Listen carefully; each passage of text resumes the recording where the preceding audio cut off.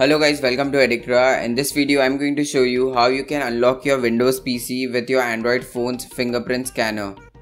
Like this. This can be handy if you're surrounded by people and don't feel safe to type the password in front of them. So let's check out how to do it. So first, let's do the PC stuff. Head on to this page and download the Unified Remote Server for PC. The link will be there in the description below. It is of approximately 35 MB. After it is downloaded, open it and install it like any other software. Only thing you have to take care is check Windows Service Experimental at this step.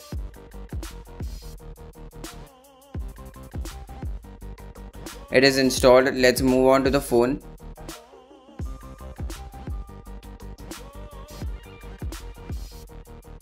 So first you need to download this folder from the link in the description. It contains 5 files. Install all the APK files but do not open it.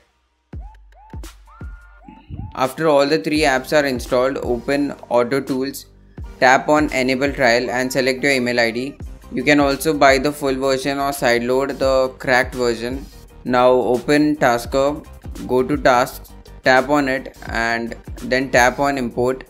Now select the fingerprint XML file from the folder you downloaded. In the same manner import the fingerprint unlock XML file. Now open fingerprint task, tap on variable set and in place of your password type your PC password which you use to unlock your PC. Go back and run this task. Wait until you get 3 green dots.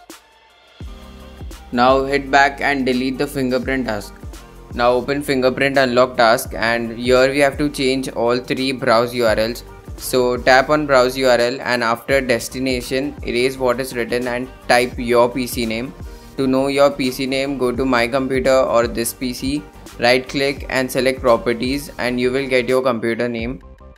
So type this exactly as it is after the word destination in all three browse URLs You can also change the icon if you want. Now open Unified app and make sure your phone and your PC are connected to the same Wi-Fi. Tap on let's get started.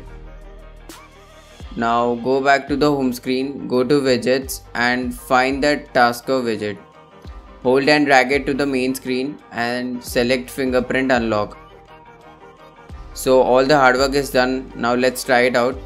Let's lock the PC with the unified app and try to unlock it.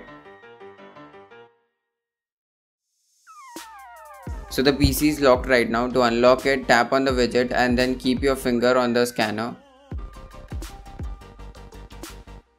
Congratulations, you just unlocked your PC with your fingerprint. This will work even if you lock your PC directly and not with the unified app. So that's it for this video. Show this cool trick to your friends. Like and share this video if you enjoyed it. Comment below if you have any queries or suggestions and subscribe to the channel for more such cool videos. Thank you for watching. See you in the next one. Until then, stay awesome.